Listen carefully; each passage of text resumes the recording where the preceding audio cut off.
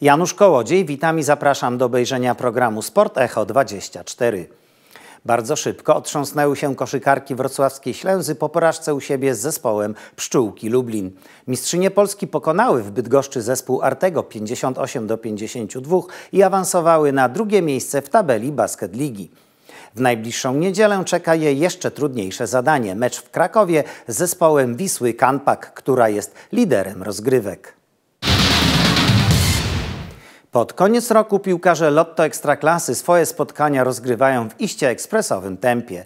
Po sobotnim remisie 2 do 2 z Piastem Gliwice wrocławski Śląsk o kolejne punkty powalczy już we wtorek 12 grudnia z zespołem Termaliki Brookbet w Niecieczy.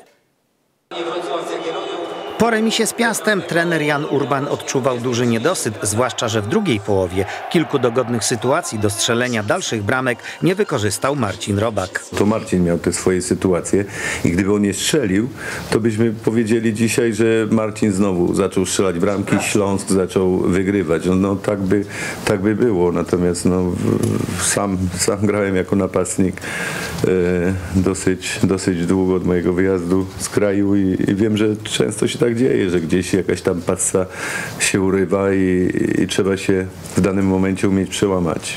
Nie zrobił tego w, w Gdańsku.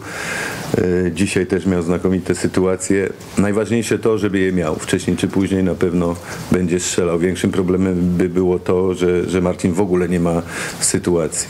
Bohaterem meczu był z pewnością strzelec dwóch goli Arkadiusz Piech, który żałuje, że jego trafienia nie zapewniły drużynie zwycięstwa. Zrobiłem co to do mnie należało. Fajnie otworzyliśmy wynik w trzeciej minucie.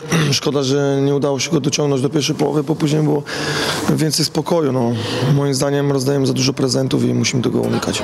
No nie wiem, może zabrakło koncentracji, pewności siebie. bo Naprawdę jak przypominam sobie mecze, gdzie my otwieraliśmy ten wynik tutaj na stadionie, stadionie to graliśmy naprawdę fajną, fajną piłkę, tracimy bramki po głupich błędach.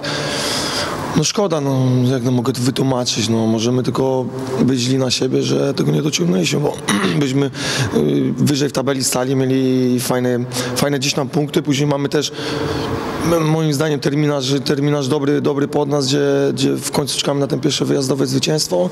Na Termalicy można się przełamać i u siebie Jagiellonia. No wszystko wskazywało na to, że mamy fajny rozkład jazdy, a dzisiaj sobie troszeczkę skomplikowaliśmy to. Czasu na rozpamiętywanie straconej szansy na zdobycie pełnej puli w meczu z Piastem nie pozostało zbyt wiele, a gracze Śląska koncentrują się w zasadzie na najbliższym meczu w Niecieczy. Czasami to pomaga, że masz tylko trzy dni do meczu. Pomaga to, bo nie koncentrujesz się na tym i szybciej to musisz zapomnieć, to co się na przykład dzisiaj wydarzyło i myślę, że tak będzie we wtorek. W tym programie to wszystko. Do zobaczenia w kolejnym wydaniu Sport Echo 24.